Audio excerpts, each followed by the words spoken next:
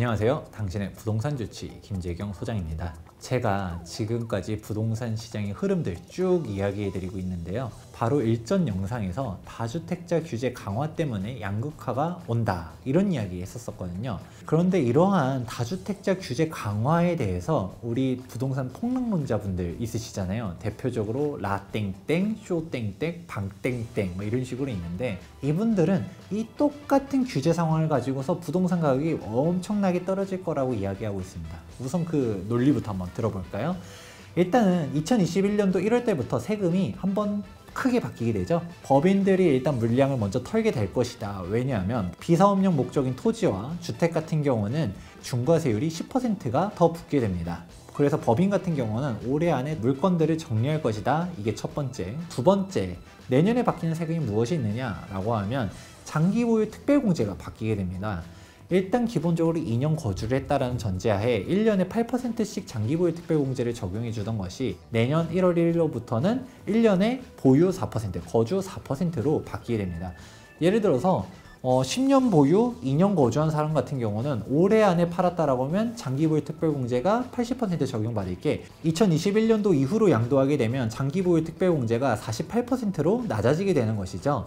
그렇기 때문에 이 사람들도 올해 안에 처분할 것이다. 마지막으로 사실 이게 정말 큰 건데 최종 1주택 이야기 2018년도 세법 개정안에서 나왔었던 부분인데 유예 기간을 거쳐서 2021년도부터는 최종적으로 양도한 1주택으로부터 2년이 넘어가야지 1세대 1주택 비과세 요건을 해준다. 즉 우리가 기산 시점이 취득 시점이 아니라 최종 1주택이 된 시점으로부터다. 이런 부분이 또 바뀌게 됩니다. 이 부분을 피하기 위해서 올해 안에 양도할 사람들도 나타날 것이다 라고 말하는 게 올해 안에 부동산들을 처분해야 되는 이유 이렇게 이야기하고 있는데요. 부동산 많이 떨어지는 것 같나요? 좀 뭔가 급매물들도 있는 것 같기도 하지만 실질적으로 보게 되면 급매물 생각보다 많지 않고요. 실거래가들 잘 보게 되면 뭔가 좀 싸게 나와 있는 매물들 보면 실제 부동산에선 거래가 안 됐었던 매물들 저가 양도라든지 특수관계자 간의 증여나 이런 부분들이 좀 있고요. 막상 시장에서 싼 매물들은 찾기가 어렵고 거래량 자체는 좀 줄어있는 상태에서 실거래가 신고가 갱신하는 단지들도 계속적으로 나타나고 있는데요. 올해 안에 정리하려고 했었다라고 하면 계약을 했었어야겠죠. 12월 말까지 잔금 치르려고 하면 우리가 한 달 만에 잔금 가능할까요? 이미 팔려고 했었던 사람들은 다 팔았다. 이렇게 보시는 게 맞고요. 그러면 이제 이 이슈들 끝난 건가요? 끝난 게 아닙니다. 내년 6월 1일자로 또 폭탄 같은 게 날라오니까 아직 끝나지 않았다라고 그분들이 또 이야기하고 있습니다.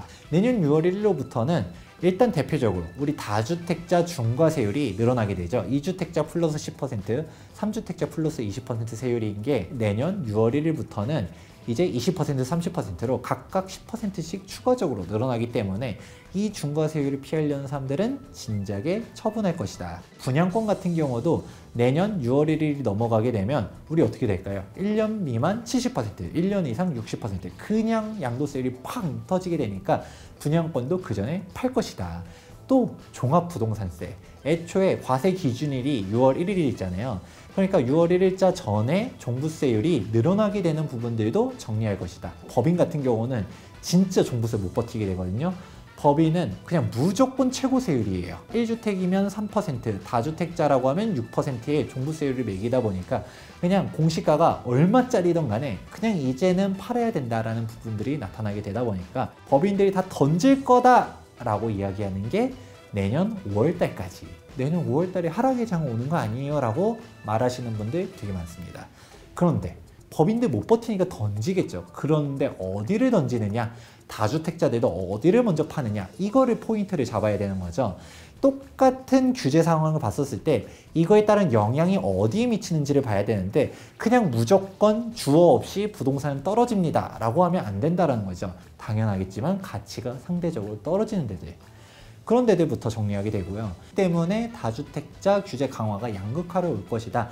이런 이야기들 제가 누누이 강조했었던 부분들이었습니다. 소장님, 그런데 법인 같은 경우는 서울이고 지방이고 이런 걸 따지는 게 아니라 무조건 저가주택이라 하더라도 종부세가 어마어마하게 나오기 때문에 그냥 다 던진다라고 하던데 서울이라 하더라도 법인들 막 매도 물량들 쏟아지는 거 아니에요 라고 말하시는 분들이 있습니다. 그러면 우리가 한번 생각해 볼 필요가 있어요. 실제로 서울의 법인이 가지고 있다. 그럼 종부세 못 버티겠죠? 팔 거예요. 그러면 서울의 아파트를 법인이 과연 얼마나 보유했는지를 한번 생각해 볼 필요성이 있는데요. 기본적으로 법인 투자를 누가 할까요? 다주택자 규제를 피하기 위해서 가는 사람들이 있고요. 법인 투자의 가장 대표적인 장점이 뭐였냐? 단기 양도 세율이 없다라는 것이죠. 개인 같은 경우는 우리가 1년 미만일 때는 40%, 더군다나 내년 2021년도 6월 1일이 넘어가게 되면 1년 미만 70%, 2년 미만 60% 단기 양도세율이 개인은 어마어마하게 높아지게 되거든요. 근데 법인 같은 경우는 단기 양도세율이라는 개념 자체가 없어요. 굳이 길게 가져가기보다는 단타 칠 때들, 즉 어딜까요? 좀 저가 주택들, 지방, 우리가 흔히 말로만 듣던 버스 타고 와가지고 확 쓸어가는 부분들. 지방에 뭐 매물들 좀 여러 가지 있는데 개인이 그냥 확 많이 사버리는 거죠 법인 명의로. 열채를 사버린 다음에 이게 불과 몇 달 만에 매물 싹 걷어들인 다음에 탁탁탁탁탁 하나씩 정리하는 거죠 개인으로 샀다라고 하면 단기 양도 세율이 너무 세니까 법인으로서 이렇게 움직이는 경우들이 많은데 그러면 우리가 좀 이렇게 한꺼번에 많이 살 수 있는 부분들 똑같은 금액 4억, 5억으로도 많이 살 수 있는 데들 지방으로 많이들 가게 되는 것이죠. 실제로 지금 이렇게 법인 규제들이 본격화되면서 법인들이 어디를 많이 팔았나 보면 서울을 많이 팔았다는 기사가 뜰까요? 지방을 많이 팔았다는 기사가 뜰까요? 검색해 보시면 금방 쉽게 나옵니다. 법인들이 그럼 과연 얼마나 많이 샀느냐를 생각해 봐야 되는 것이고요. 과연 서울에 법인이 10억 넘게 들어가는 거, 갭 투자라 하더라도 5억 넘게 들어가는 거 법인은 많이 샀을까요? 애초에 법인 같은 경우는 과밀억제 권역이라고 하잖아요. 여기 취득세 중과세율이 있기 때문에 쉽게 투자 못했었어요. 지방 투자를 법인으로 많이 했었었는데 이런 부분들도 같이 생각해 보게 된다면 아 진짜 우리 라땡땡 쇼땡땡이 말하는 그런 매도 물량 폭격이 어디에 떨어질 것인가 다시 생각해 보시면 좋을 것 같습니다.